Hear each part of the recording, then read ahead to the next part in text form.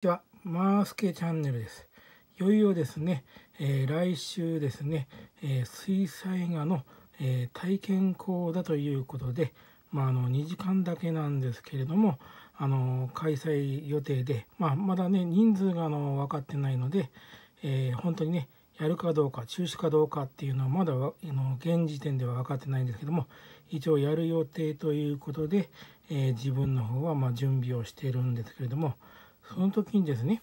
あの希望者募集要項の方には、まあ、水彩道具一式持ってきてくださいとだけ、まあ、知らせてあるんですけれども、えーと、例えば、えどこかのね、えー、絵画教室でやってた方なんかは、まあ、あの透明水彩絵のを持ってくるかもしれませんし、えー、結構多いのは、えーと、と子供のね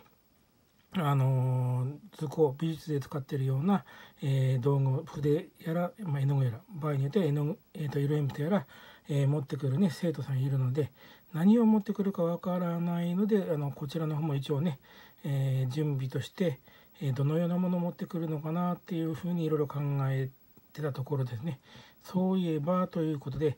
えっとこれはですねえーと、記憶が確かならば、まあ、中学生ってまではあの、えーと、美術の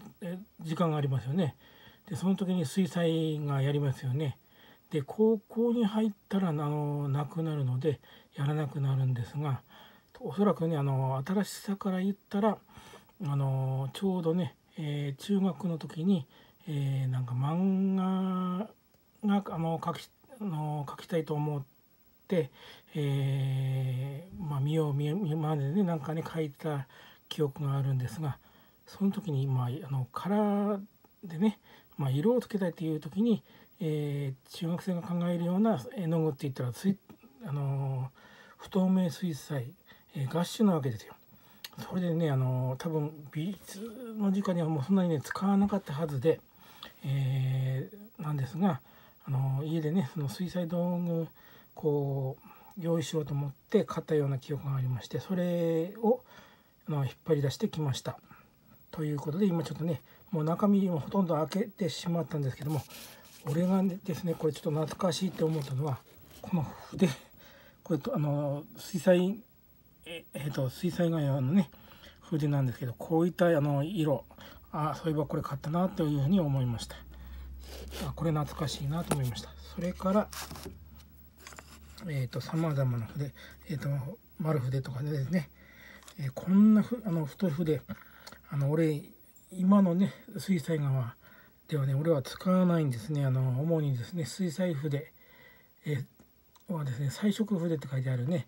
え筆を使っているのでこういったいわゆる、えーと、水彩画用の水彩、えーと筆はあの俺は使わないんですが今度の体験講座では生徒さんはねこういうのを持ってくるはずなので、まあ、あの普段これでこういうのでね書いたことない俺が書けるかのかどうかっていうのでね今ちょっとねいろいろ実験もしようと思ってこう引っ張り出してきました。それからのと、ね、当時はどのような絵の具を使ってたかっていうことでなんですけれどもまああの中学小学校中学校の御用達の絵の具っつったら桜クレパスの絵の具とかペンテル絵の具じゃないですか。その他に俺俺多分ね安かったから買ったのかもしれませんけど俺が買ったのが懐かしのギターペイント。えっ、ー、と高級水彩絵の具って書いてありますね。ギターペイントということで。えっ、ー、と12色色入りのものを買ったんですがその他に見てみると,、えー、と結構ね使う、えー、と色がありあったようで赤なんかもなくなってましてえっ、ー、と、単品で、えっ、ー、とね、えー、紫、これ100円でね、まあ買ったみたいで、これ柔らかさからしたらまた唯一ね、あの、もう何しろ、うん十年も前のもう絵の具ですからね、これだけ新品で買ったからあの使ってなくて、これだけなんかあの、中身がね、使えるそうで、他はもうカッチカチでね、使えません。で、銀色って書いたけど、これはだからその漫画描こうと思って銀色でね、なんか、書こうとしたような記憶があります。それからこれは茶色とかですね。あとしホワイトと。で、あの、そういうのはですね、この、えっ、ー、と、高級水彩絵の具の中にはですね、オレンジではなくてこれ朱色が入ってるのがねちょっとびっくりしましたなんで朱色なんだろうと思ってで今ではえー、といろんな肌にもねいろんな肌の色があるということで、えー、ペールオレンジもしくは、えー、と薄橙という名前で出ていますけどまだこの当時はね、まあ、肌色のあのペールオレンジがあります。でねあのしばしばあの絵の具業界ではあの赤と、えー、緑とか、えー、がねあの色をねあの何にするかっていうのをねこう変えるみたいなんですけどもよく当時の緑って言ったらこれあのビリジアンって書いてますね。もう当時あの緑って言ったらビリジアンなんですけども、えー、あと赤は赤って言ったらあのね俺の頃はあのカーマインだったりするんですがそれがねこう変わったりしています。で最初からノーマルでこの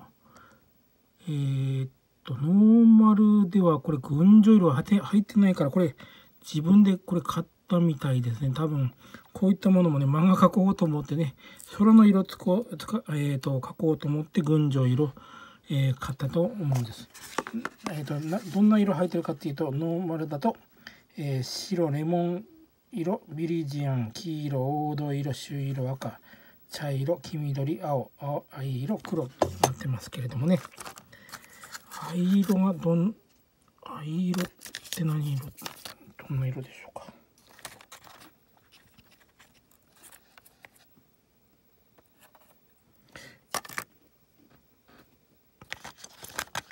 群青色ですね。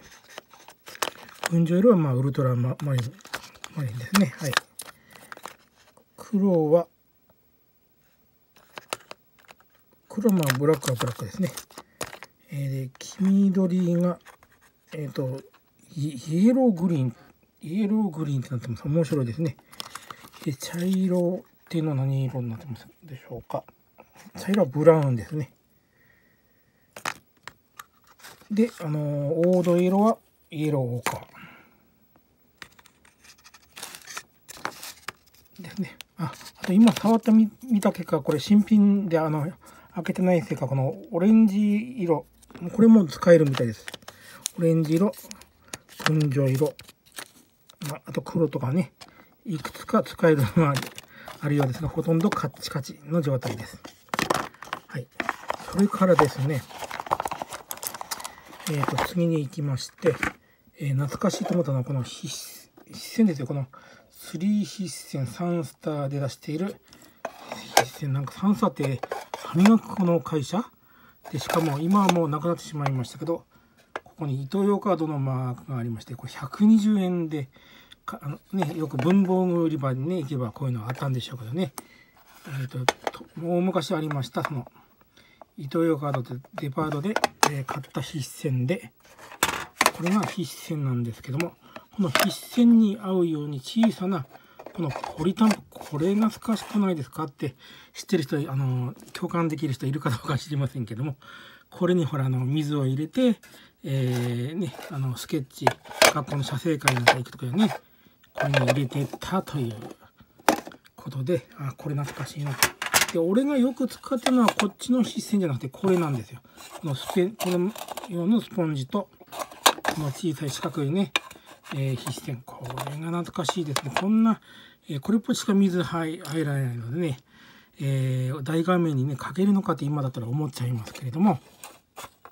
えこれすごい懐かしいこの筆線すごい懐かしいですね。でパレット。パレットもね2つ。これはあの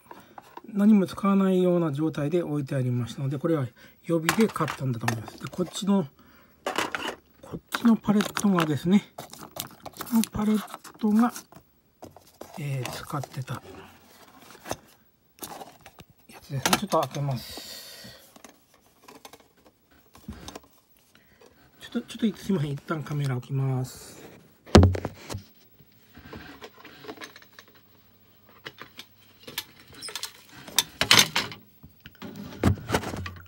いすいませんはいで絵の具もねあの洗わないであの筆線に筆線じゃねえやあのパレットにね絵の具が乗ったよう状態ですがまああのこの順番はねこれあのまあ、中学生もしくはあと高校生の初めぐらいきっと色塗ったんでしょうけどその頃のあの絵の具ですからね順番なんか適当に、えー、置きたいところにこう絵の具を置いて、えー、描いたんですよね。なんでしょうこんなに赤とかあそういえばなんか思い出しましたねあの、えー、ちょっと漫画イラストを描くのに確か高校の時にね描いた記憶があってその時にね使ったと思います。これだから肌色を作ろうと思って、えー、ね、ちょっと黒が混ざっちゃってこ、ここになっちゃってこんな色になってるとかですね。これもそうだ、一緒、だんだん思い出してきましたね。こういった、あの、宇宙のね、空の色をこう描こうと思って、こういったその藍色とか黒子を足したような色を作った、あの、使ったりとか。こういうの見るとすごい懐かしいですが、はい。まあね、今だったらもっと綺麗にね、えー、やりますけれども、まあ適当にやってた頃の時代です。それからちょっとこれあの、まあ、あのインチキのものですけどもこれ、えーと、タオルの代わりに書いてたのあの入ってたのがこれどっかでね見かけたことあるような、えーと、パチモンのあのうさぎちゃんの、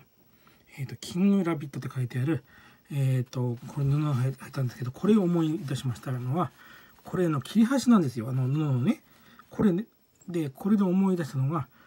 えっ、ー、と中学生よりも前のだから小学生の時ってあのねあのその